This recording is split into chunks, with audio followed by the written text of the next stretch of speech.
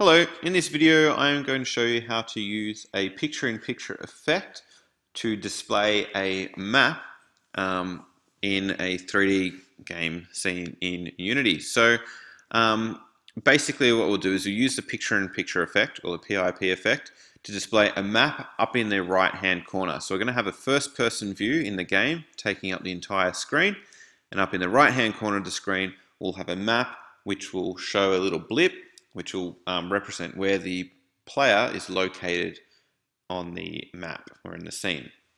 Okay, so I've already added a few objects and assets to this scene. So firstly, I've got a first person controller with a first person character.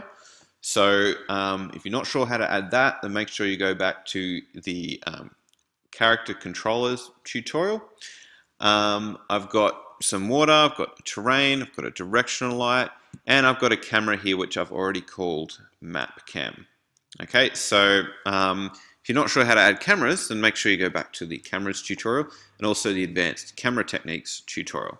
But basically to add a camera, you can just click on game object and camera, and then you'll have a camera in your hierarchy. You can give it a name like I have, and then go from there.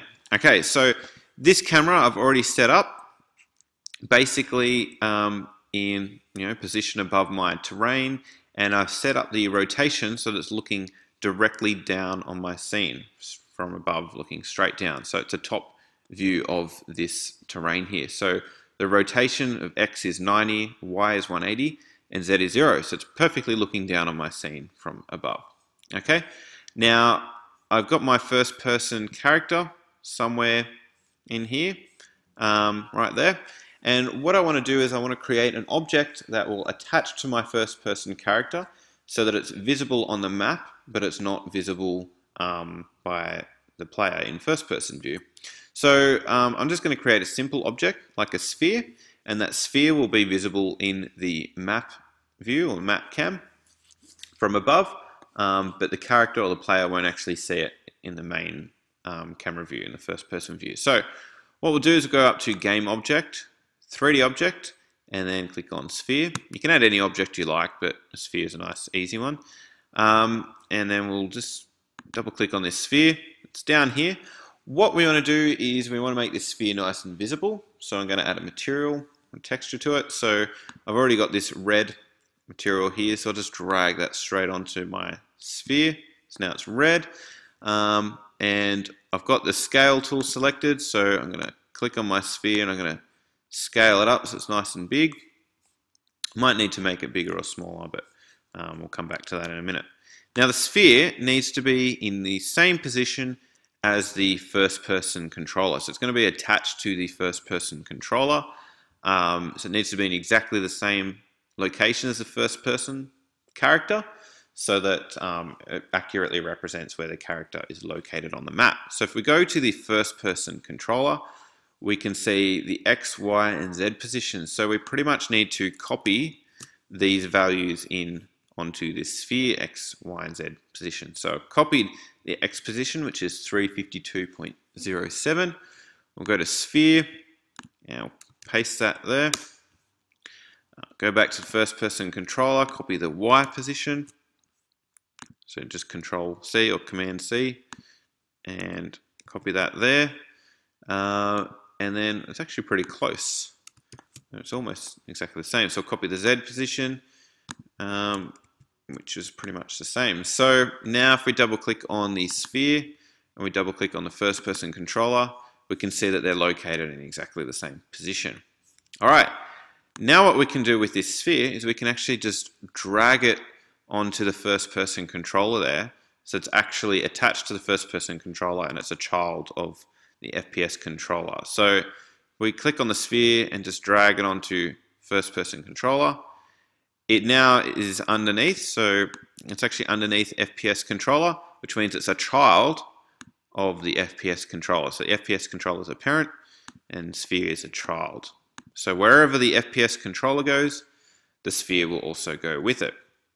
Now if we go to the map cam, we can see that um, the red little blip here, the sphere, is actually in the camera. It's right, right there as a little dot. But we need to actually make the sphere a little bit bigger because it's not very visible. So got the scale tool selected. We'll just scale it up a bit more.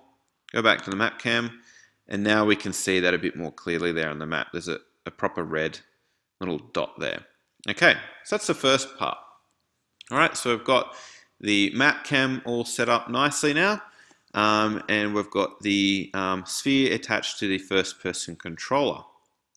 Right, what we need to do now is we actually have two cameras here. So we've got a camera attached to the first person character. So when you go to the first person character in a hierarchy and you go to the inspector, you'll see there's a camera here. All right, um, and you also see on the, um, where is it, the map cam here, there's obviously a camera there in the inspector. Um, but you'll see that if we just look down here, where is it? Um, don't know. Oh, there we go. Okay, so we've got audio listener here. Okay, so the audio listener is selected or enabled on the map cam, and it's also enabled on the first person character. We can't have more than two, sorry, we can't have more than one audio listener in a scene. So we actually need to disable the map cam audio listener so that we only have the audio listener coming from the first person character. If you have both enabled, then you'll get error messages. Um, so you, you, can only have one um, audio listener in a scene. Okay? And we want the one on the first person character so we can actually hear the footsteps of the character moving around when they jump, all of that. Okay, so the map cam is all pretty much set up there, um, apart from where it's going to be located on the screen. So if we go to the first person character here, we click on that, this is actually going to be the main character, the main camera. So um, the whole of the screen is going to be taken up with the first person view. So what we'll do is we'll set the depth to minus one.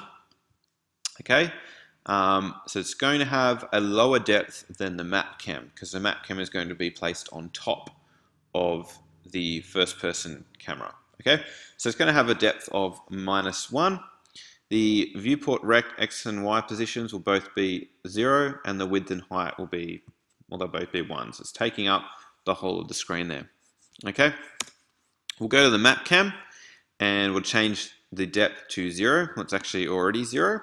So this means it's going to have a higher depth than the first person camera, so it'll be displayed on top of that camera.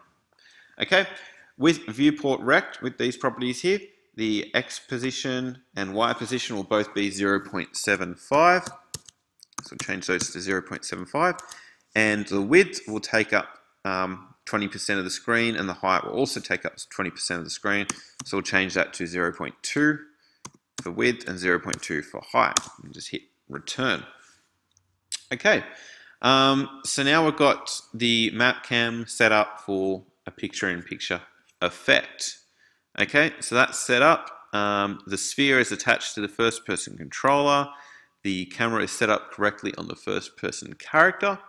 Um, so it should be pretty much ready to go. All right, so we'll click on play. Okay, now we can see up in the top right hand corner here, we've got the um, top view map cam camera up here in the top right hand corner of the screen. And we've got that little red sphere uh, on the map there as well. Okay, now we can walk around and as we walk you can see that that red blip is also moving on the map. So it might actually run, see that red dot move faster. Okay, so what we might do is we'll go back this way.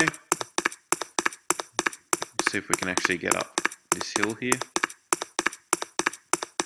And in a moment we should be able to see water. There we go. Okay, there's the water. So the red sphere follows the character controller around on the map because it's you know it's um, a, a, child of the first person controller, so it goes wherever it goes. So um, you might want to use a different shape, maybe like an arrow instead of a sphere, so you can see what direction it's pointing. Okay, so that's pretty cool. The only other thing now we need to do is um, disable one layer so that, um, I mean, right now we can't, in the first person camera, we can't actually see the sphere. Um, but if you want to have some things visible um, in one camera and not visible in another camera, that's when you need to start using layers. So that's what we'll look at in the next tutorial.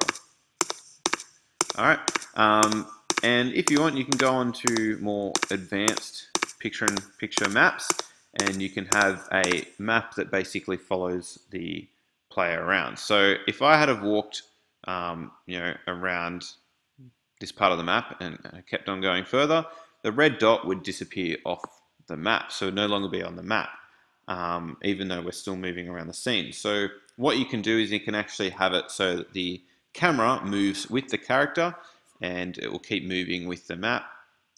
Um, so that's something that you can also play around with as well, have the camera follow the player. Okay, that's um, all for this tutorial. In the next tutorial, we'll look at layers, um, how to hide and show um, different objects in our game on different layers. Thanks for watching.